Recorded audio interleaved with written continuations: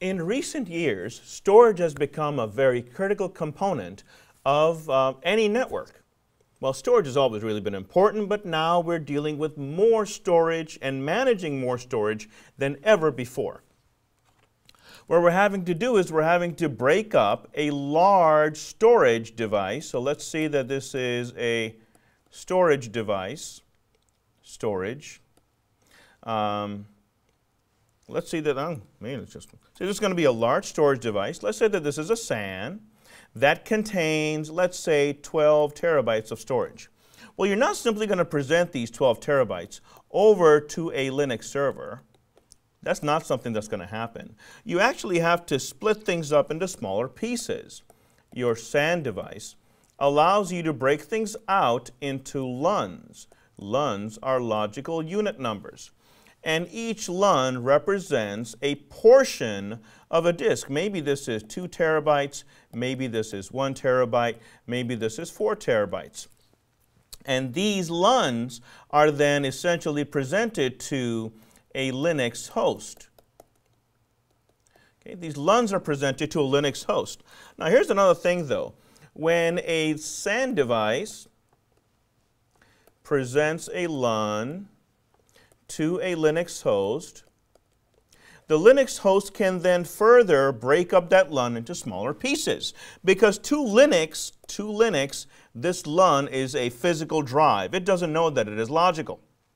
So let's say that this is a 4 terabyte LUN. When it comes into Linux, I can break it up into I can break it up into like 1 terabyte, 500 gig, you know, two terabyte, whatever the case is, I can break it up into smaller pieces. or I can break it up in any piece I want. And I can assign different uh, storage, I can assign different volume labels. I can say that this is my data volume. I can say that this is my OS volume. And I can say that this right here is my swap space.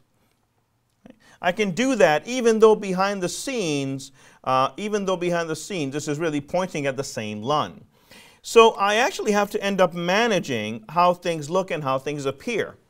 So inside of a SAN, I'm going to give you the example of a SAN again. Inside of a SAN device, this is a storage area network.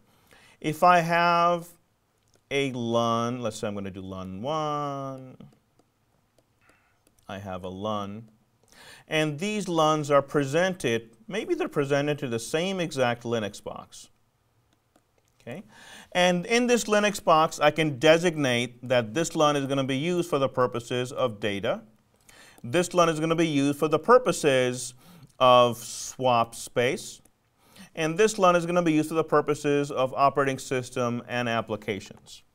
And maybe inside of Linux, I set it up so that I don't care about this LUN.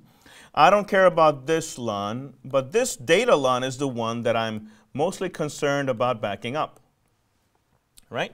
I back up this LUN so that in the event that there's a problem, I can always restore the operating system and the applications. I can restore the swap space, um, but the data I can I need to have data available to me. I don't need swap space to be available when I'm bringing my system back. So the storage management is becoming more and more complicated. I didn't even list or outline uh, but you can imagine storage that is taking place and data that is being stored all over the globe. Maybe your organization is in one state, and maybe its central storage is located somewhere else, or maybe there are multiple storage devices that are replicating between each other that have to be on a high speed bandwidth, whatever the case may be.